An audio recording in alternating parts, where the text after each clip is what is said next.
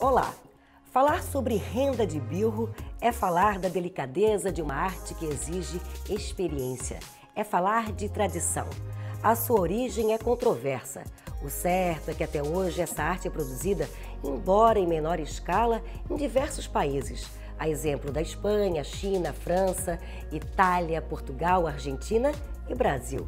A produção desse tipo de renda é complexa e consiste em criar as tramas com a ajuda de alfinetes fixados em moldes de papel apoiados em almofadas.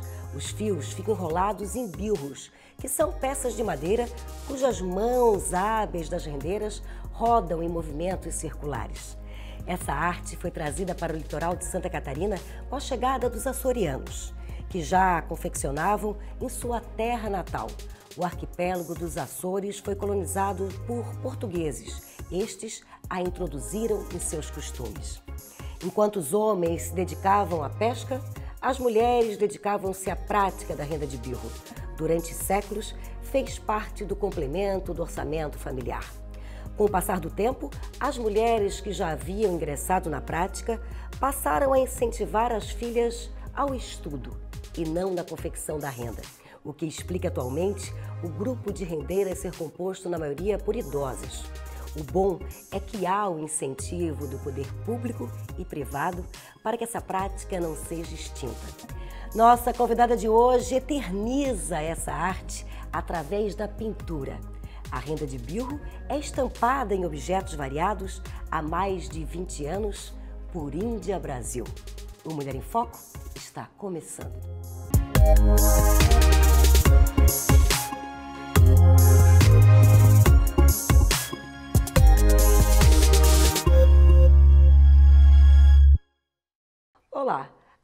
Delicadeza da renda de birro pintada em alguns materiais. Esse é o nosso assunto de hoje. Seja bem-vinda, Índia. Tudo bem? Tudo, tudo bem. Obrigada pelo convite. Falando em renda de birro, vamos direto ao assunto. Você tem recordação da primeira vez que você viu, já que você é aqui da, do litoral, a renda de birro? Ah, sim.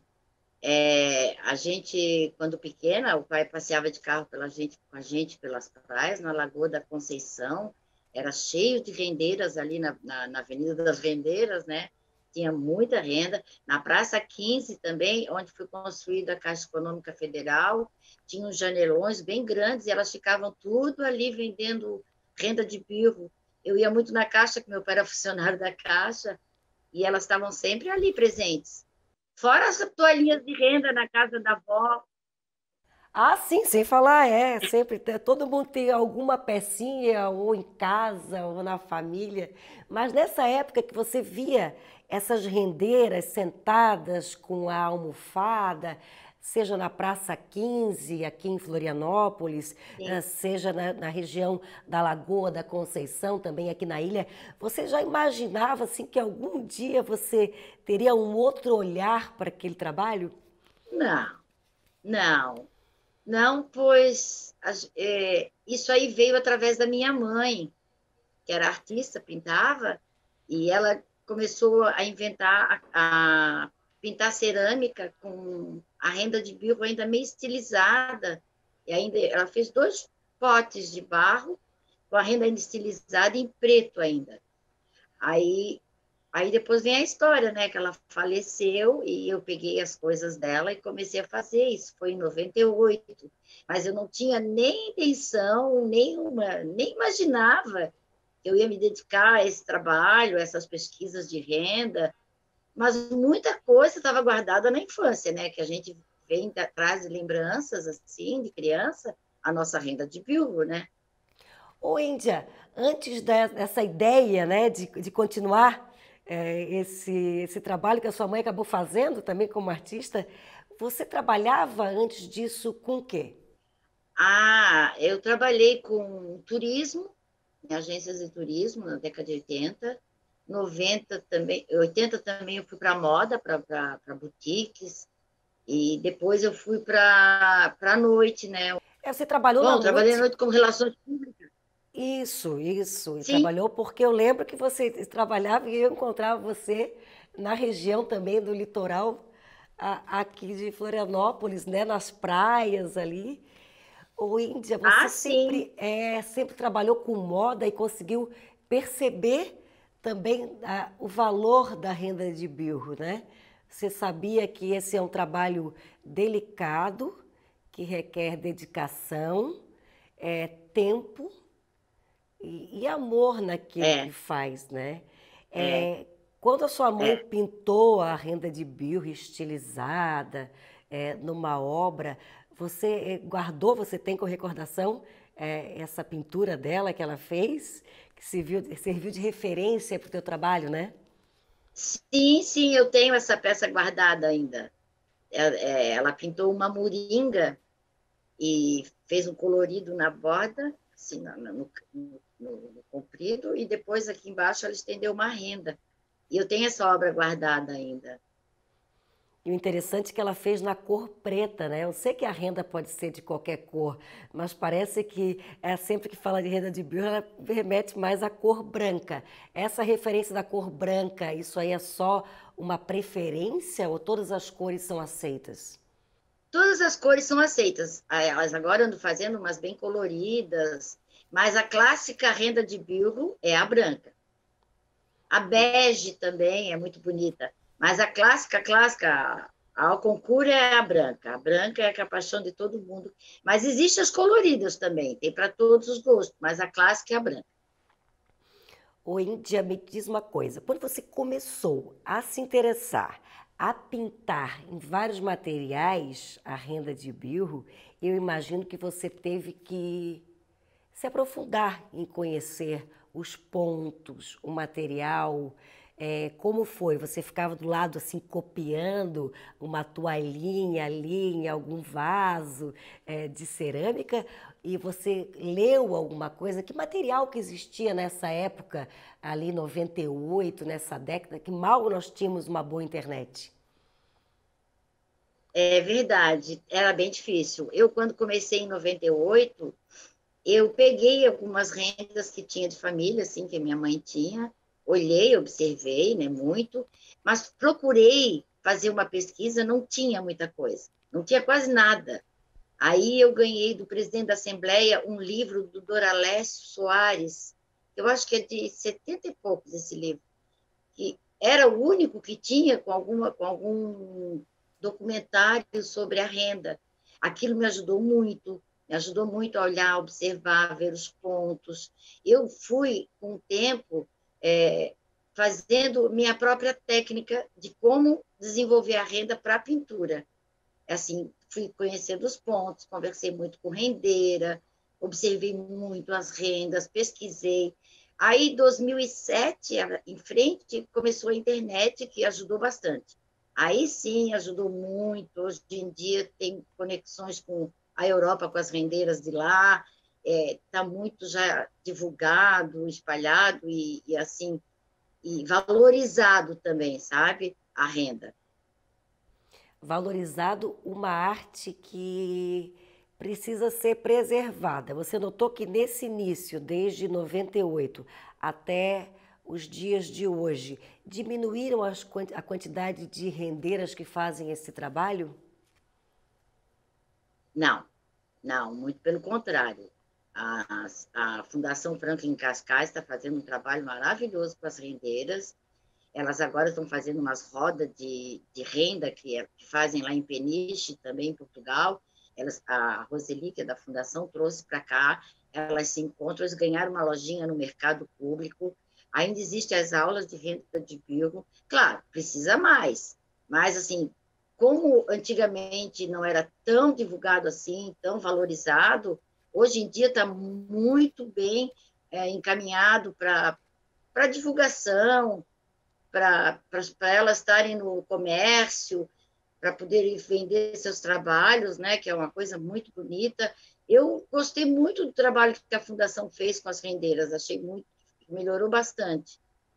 Isso é importante, né? O poder público, o poder privado, é, darem esse incentivo, esse suporte em alguns momentos elas ficaram um pouco é, sem esse incentivo, sem vontade de continuar, e hoje elas estão ali firmes, né? Muitas vezes as filhas já não fazem, já tomaram um outro rumo, mas admiram esse trabalho. Isso é muito importante. O Índia, a primeira vez é, que você foi lá, viu o material que a sua mãe deixou, parece que foi um recado que ela deixou, né? Vou deixar esse presente, essa ideia, para que você, minha filha, continue fazendo. É qual foi a primeira a primeira peça que você fez? Tem guardada ainda? Não, não tenho a peça, mas eu lembro qual foi a primeira peça que eu pintei, porque eu repeti o trabalho que a minha mãe tinha feito naquela moringa. Eu fiz o mesmo desenho, assim, para a primeira vez, eu tentei copiar o que ela fazia. Aí sim, depois eu comecei a fazer outras peças, comprei louças de barro, né, cerâmica, e comecei a pintar, mas até final de 98 eu ainda pintava com a renda em preto. Depois, para 99, 2000, é que eu passei para renda em branco. Aí foi o aprendizado, foi a pesquisa, tudo que eu fui aprimorando, né?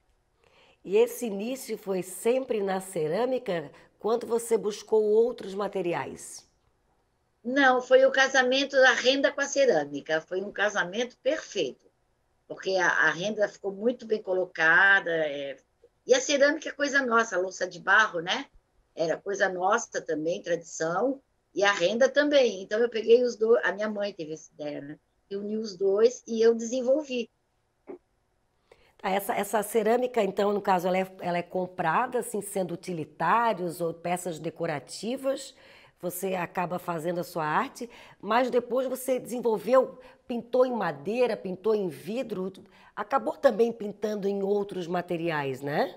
Sim, sim, eu pintei cerâmica por muito tempo e depois eu quis seguir mais outros campos, outras criatividades que a gente tem. Aí eu parti para madeira, pintei vidro, pintei porcelana, pintei com esmaltação também, fiquei cinco, seis anos fazendo cerâmicas esmaltadas, mas parei também por causa de alergia, não tenho condições, as tintas são muito fortes. E, mas o, o, o, o concurso dos meus trabalhos é a cerâmica crua com a renda em branco, né? Esse é o que todo mundo tem a preferência. E fui para as telas também, fiz muitas telas também, ainda continuo fazendo. Ender, nessa época de pandemia, ah, todo mundo quer entender o que as outras pessoas estão, estão fazendo em casa, né? E fazer algum trabalho dentro desse período de isolamento hum, é um uma satisfação muito grande, né? E muitos médicos dizem que faz muito bem. Né? Você percebe que desde esse começo, quando você começou a pintar lá na década de 90 e nesse período de pandemia hoje, isso te faz muito bem, Índia? Ah, faz. Foi a melhor coisa que eu fiz em toda a minha vida, assim. É, é um trabalho muito isolado, assim, né? Porque tem que ficar quietinha para poder produzir, porque precisa de concentração, precisa de delicadeza, precisa de tempo. Então, eu fico muito só em meu ateliê, pintando e fazendo as coisas.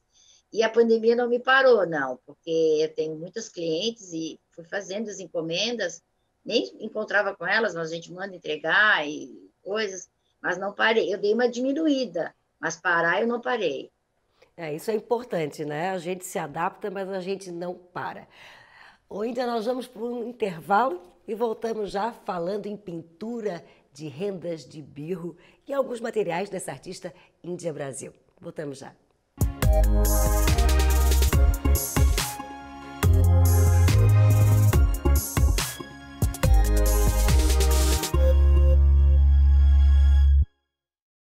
E seguimos o Mulher em Foco falando com a artista plástica Índia Brasil.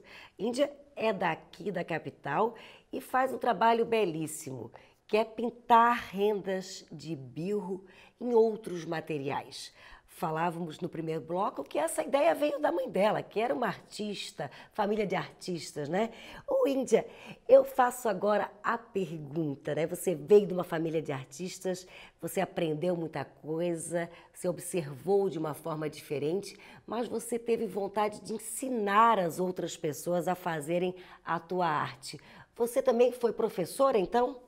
Ah, sim, eu, eu trabalhei com cerâmica, eu ajudei a. Eu era professora de, de cerâmica básica, né? Que eu tenho, não tenho de torno. Eu tenho cerâmica de modelagem e tenho e ensinava pinturas, mas não de renda.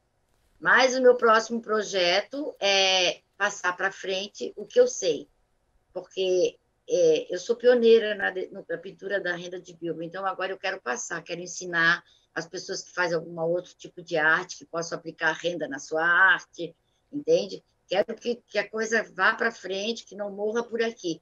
Então, o que eu, minha, o que eu aprendi, o, as técnicas que eu desenvolvi para facilitar a pintura de renda, com moldes, com tudo, eu vou passar tudo isso para frente. Esse é o meu grande projeto para 2021. Ô, Índia, vamos chamar agora uma matéria que mostra um pouquinho você trabalhando e executando a sua arte. Vamos lá? Ela pinta na cerâmica a tradicional renda de bilro. Os detalhes enchem os olhos de quem conhece o trabalho da artista plástica Índia Brasil. Natural de Florianópolis, Índia teve na infância um contato muito próximo com as rendeiras e se apaixonou pelo trabalho daquelas mulheres. Os bordados delicados em bilro não saíram da sua memória, e quando adulta, Índia transformou as lembranças em arte, a sua própria arte. Ela juntou a cerâmica com a renda, e foi lindo. Isso lá em 1998. Hoje ela também aplica a técnica em porcelanas, telas, madeiras e vidros. O historiador Francisco do Vale Pereira é um admirador do trabalho da artista. Para ele, as obras de Índia vão além da expressão artística. Elas contribuem na valorização de duas tradições significativas da ilha de Santa Catarina: a cerâmica e a renda de bilro. Ela conjugou essas duas, digamos, tradições, né? essas duas formas e técnicas é, é, desenvolvidas aqui, a, no caso da cerâmica, pelos indígenas, né?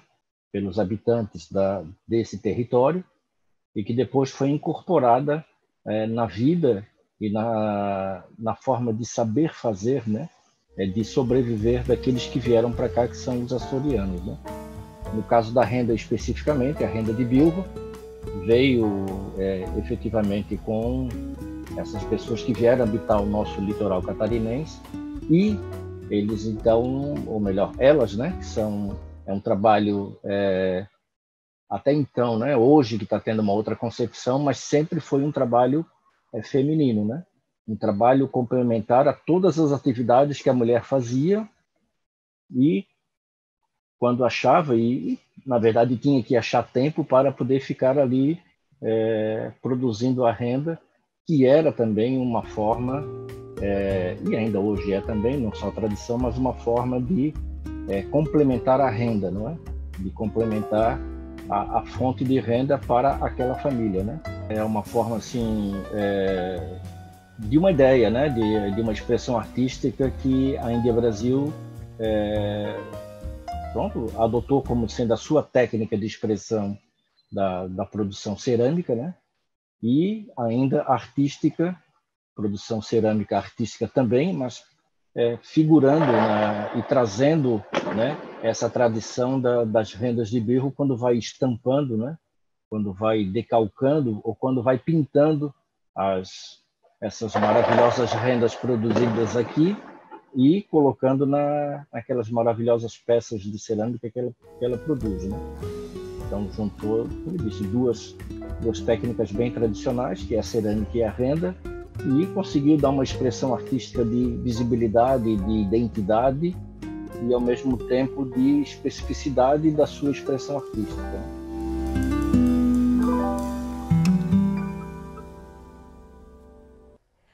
A vida está sempre em evolução, a vida é uma troca. Mesmo em alguns momentos, quando a gente acha que a gente está dando um passo para trás, a gente talvez esteja dando um passo à frente. E é admirável que você ensina arte também, ensinou arte e está se aperfeiçoando. Então, você passou um período é, na Europa e eu quero saber se foi fazendo arte, né? Esse foi 2017, como é que foi? Foi. Eu, a princípio, fiquei dois meses passeando. Aí depois eu voltei, fiquei mais três meses. Eu pintei lá na França, onde eu estava, e fiz uma exposição lá mesmo, no final de outubro de 2017. E eu pintei com tela lá, com tintas de lá, foi muito bom. eu conheci, eu tenho, esse Facebook ajudou muito a ter conhecimento com as rendeiras lá fora, né? Eu também fui uma exposição em Veneza de uma, de uma rendeira que faz renda com agulha, que é lá de Merleto, na Itália, em Veneza. E eu quero ver se agora eu vou de novo para fazer o contato com essas rendeiras e lá visitá-las, porque é muito bom esse conhecimento. A renda de lá é um pouco diferente da nossa, elas são mais enfeitadas, então eu estou tentando agora ir buscar um pouco a renda diferente, mais a renda de bilro, mas francesa, a renda de bilro italiana, a renda de bilro portuguesa, enfim, tem no mundo todo. Mas elas têm os detalhes de diferença, assim, que é muito bom, é um aprendizado que não para, assim, eu quero continuar fazendo, quero continuar pesquisando, continuar levando esse meu trabalho em frente, assim, não, não tenho muitos projetos agora para frente. Olha, já está falando em projetos, então, né? Que bom, né? Que pensar realmente é. nessa, nessa evolução da arte, né? E conhecimento que a internet trouxe para todos nós de alguma forma. Você faz pesquisas, o que te aproximou pessoas de outras partes do mundo que fazem a renda de bio, muitas vezes de forma diferente, né? Porque dentro da cultura do local as pessoas acabam evoluindo de forma diferente, mas com que, que a internet agora aproxime toda essa diversificação dessa arte, né? O que é mais difícil pintar rendas de birro? É no, no barro, acredito que não, aqui na cerâmica? É no vidro? É na madeira? Você já pintou em roupas em algum lugar inusitado também, alguma peça é, diferente? Já, já pintei roupas minhas, que às vezes em casa você tem que fazer, pegava uma jaqueta, pintava os detalhes, uma calça de jeans, mas o mais difícil de todos é o vidro. Pois o vidro, ele, ele, não tem, ele tem a transparência e o, tu não, é a, o foco do pincel fica um pouco difícil. Mas tem que ter paciência e gostar do que faz para fazer. Aí a gente consegue, né? Mas eu, quando eu posso inventar alguma coisa, botar renda em algum objeto novo, em alguma superfície nova, uma textura nova, eu faço. E fica interessante a renda de Beus na roupa, né? As tua, tuas peças, assim, vendo fica. atrás de você ali, a gente tem a impressão que é a própria renda, né? Aplicada em cima de algum de algum prato. Ali tem um prato, tem um abajur, ou aparece a impressão que dá lá atrás que é uma tela, é um vaso. E tem assim. Telas, tem mais janelas, tem um divino, tem outra janela, e tem um guarda-sol aqui. Isso. E tem as peças de cerâmica, vaso com a renda também. Eu imagino que as pessoas que admiram a, a, tua arte, quando estão próximas a ela, é, te perguntam, né? Mas tem certeza que isso aqui não é uma renda aplicada pela perfeição, pelo estudo que você fez? Ela chega a passar a mão. Oi? Ela chega, passou a mão, assim, o dedinho, para ver se não é aplicada. É muito bom, eu gosto. Claro, porque esse é o grande retorno, né? Se está tão bem feita assim, as pessoas têm até a dúvida se aquilo é a renda ou é uma pintura. É, o que, que, te dá mais prazer, na verdade? É ver a obra pronta, é participar de uma exposição, é acabar a tua arte sendo levada para um outro lugar? Qual o momento de maior satisfação de um artista plástico? Ah, é a. Como é que eu vou dizer? É assim: é, as pessoas ao redor, as clientes, as amigas, enfim, quererem a tua peça. Quando termina um trabalho, assim, ah, eu quero ficar com aquilo. Aquilo te dá um prazer, assim, não é nem monetário, é mais assim de, de, de, de, de gratificação pelo trabalho, entende? Que tu conseguiu fazer, tu conseguiu expressar o que tu querias, tu conseguiu deixar a peça como tu querias, com um formato bom, um desenho bacana, de uma renda bonita, e as pessoas gostarem, levarem. Isso é um prazer muito grande. Uma exposição também te dá muito prazer, porque as pessoas vão lá ver as coisas, elogiam. Isso, esse retorno é que te dá satisfação, entende? E a criação também te dá um, uma, uma satisfação, né? Quando começa uma pintura e quando tu vai vendo ela crescendo e, e ficando inteira, assim, a renda, ficando pronta, é muito bacana. Eu sou apaixonada pela renda, assim, então eu vibro mesmo, eu me emociono, eu gosto, tenho uma grande satisfação. O trabalho das rendeiras, ele é, é, um trabalho demorado, né? Cada ponto assim leva muito tempo. Para fazer uma pequena toalhinha leva-se muito tempo. Ô Índia, e na pintura da renda de Bill? Mais ou menos assim um grande prato como aquele que está ali à sua direita. Quanto tempo leva de pintura para ser executado, para ficar pronto? Ah, bom, é, a pintura é bem mais rápida, bem mais rápida. Essa tramóia aqui, é, é, é, eu faço em um dia, se eu ficar sentada o dia todo, mas eu não faço mais isso, porque eu não, não tenho mais postura, né? Então, eu tenho que fazer em dois, três dias. Mas elas, para fazer uma toalha dessa, elas levam um mês, 45 dias, acredito por aí. Então, a pintura é bem mais rápido e a, e a pintura é diferente da, de fazer a renda. A renda tem que começar de um jeito e na pintura tu tem que pegar um ponto para desenvolver. Então, mas a pintura é bem mais rápido do que a, a, o trabalho das rendeiras, que é mais precioso, né?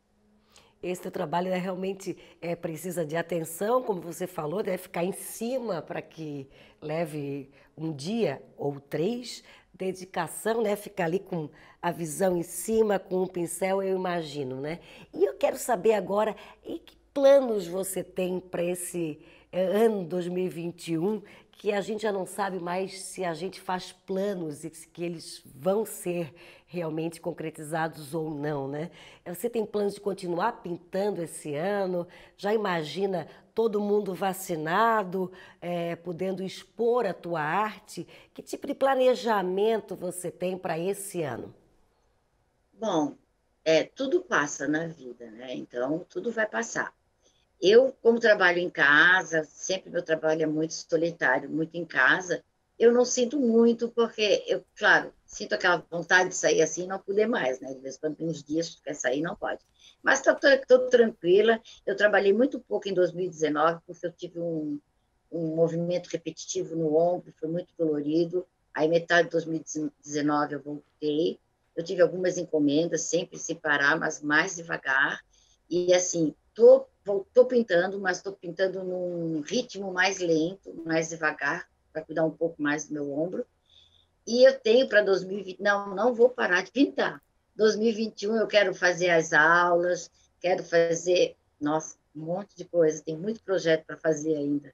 Mas eu quero fazer minhas aulas, quero, quero ensinar as pessoas a pintar, quero fazer as pessoas, quero, né, pretendo fazer as pessoas é, se dedicarem a essa arte, que é muito bacana e dá para aproveitar bastante para quem já faz arte, para quem já trabalha com artesanato. É um detalhezinho que eles vão colocar, é muito bom. Esse é um grande projeto que eu tenho para 2021. Fora as encomendas e os meus trabalhos, que graças a Deus não param, né? que a vida continua, né, Índia? Eu estava agora é, escutando a gente finalizar, mas eu queria que você deixasse é, é, uma frase, algum significado que a renda deixou na tua vida. Eu acho que ela foi um presente da tua mãe para ti, é, que te mostrou esse caminho na tua vida e que você possa também deixar é, para alguém, para as tuas amigas sempre, alguém aprendendo contigo também e que possa levar essa arte também tão inusitada, tão linda para outras pessoas. Que mensagem que você deixa aí para nós? Ah, nada é tão difícil que não se possa fazer. É só ter dedicação, paciência, ter amor pelas coisas, ter carinho por aquilo que tu faz. E não dá para ficar parado. A gente tem que inventar, se reinventar e, e seguir em frente. A renda na minha vida foi tudo, assim, foi o grande passo da minha vida, foi a melhor herança que a minha mãe podia ter me deixado. Eu agradeço até hoje, sou muito grata e isso aí faz 23 anos que eu pinto renda, né?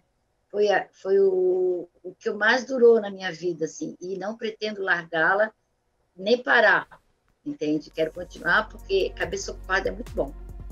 É isso aí, que dure mais 23 com muito sucesso nessa beleza de trabalho. Eu agradeço a tua presença remota, mas aqui lado a lado, trocando informações com a gente. Muito obrigada. Música